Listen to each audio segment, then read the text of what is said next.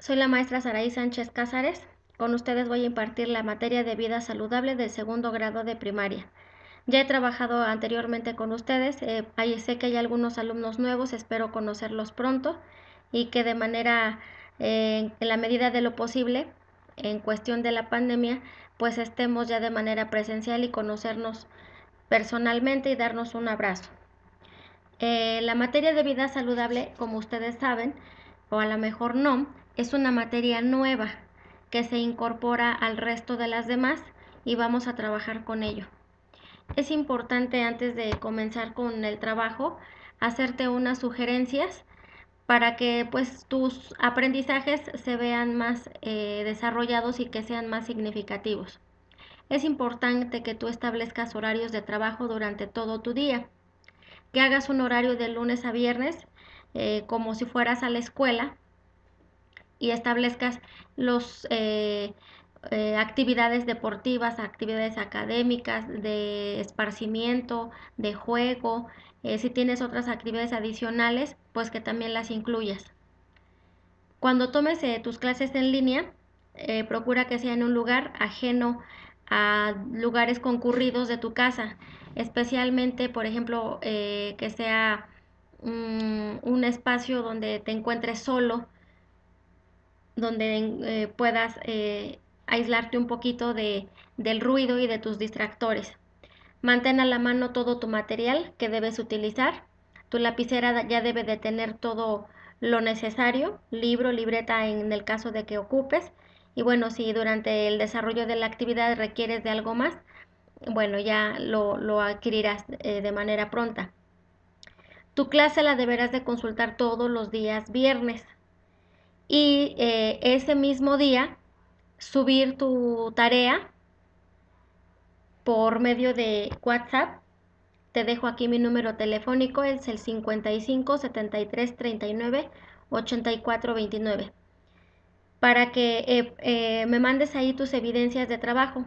antes de que me envíes las fotografías, pues cerciórate que estén bien tomadas, que no se vean borrosas Tú también en tu trabajo procura mucho tu calidad, escribe bien, que se vea lo más, este, tu, con una letra legible y con buena presentación.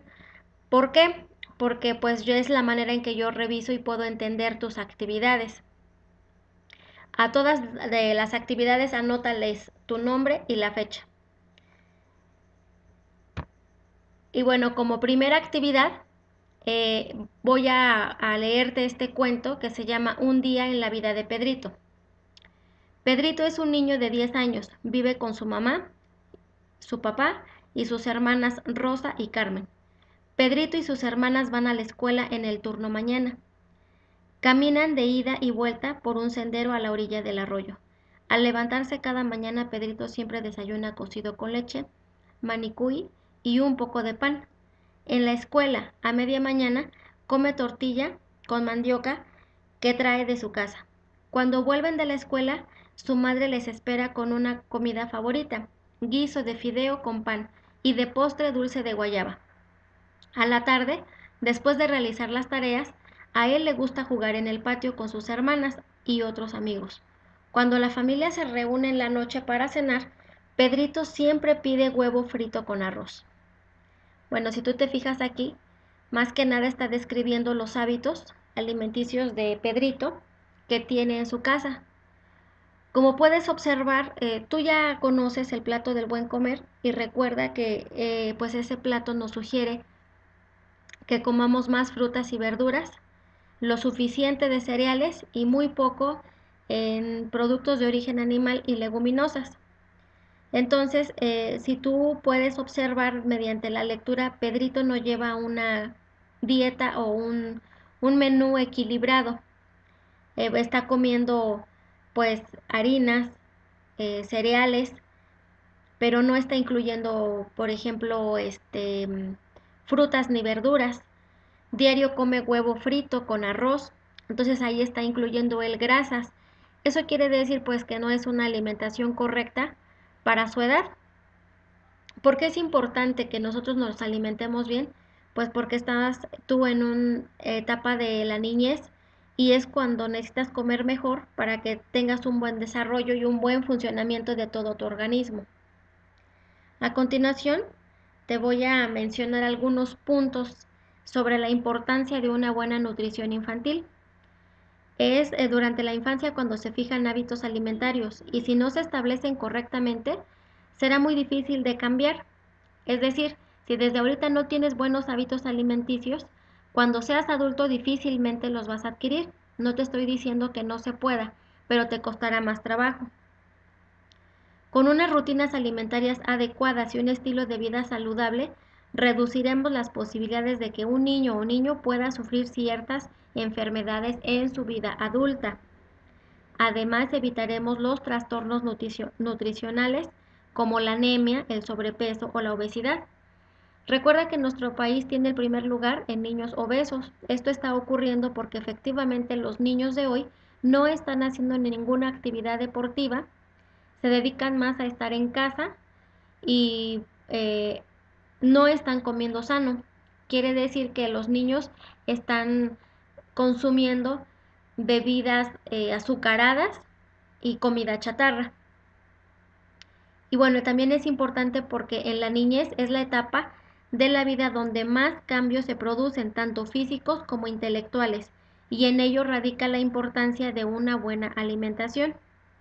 Es decir, si tú tienes una buena alimentación, también tendrás un buen desarrollo intelectual y bueno, eh, aprenderás de mejor manera. En general, es recomendable que la dieta de los más pequeños sea rica en cereales, frutas y verduras y escasas grasas saturadas y sal aunque en menor cantidad también se deben consumir huevos, lácteos y pescado. Limitar la ingesta de carnes rojas y sus derivados e incorporar el agua como bebida esencial en las comidas diarias son otros de los consejos para que las niñas sigan una dieta sana y equilibrada. También es importante aquí pues que eh, evites el consumo de alimentos chatarra, que no lo tomes como base de tu alimentación, sino que consumas ese tipo de alimentos de manera esporádica. Sí los puedes consumir, pero que no sean de manera consecutiva, de vez en cuando. No es sano que diario te comas una bolsa de papas y después una paleta y después un chicle. No, eso no es lo sano.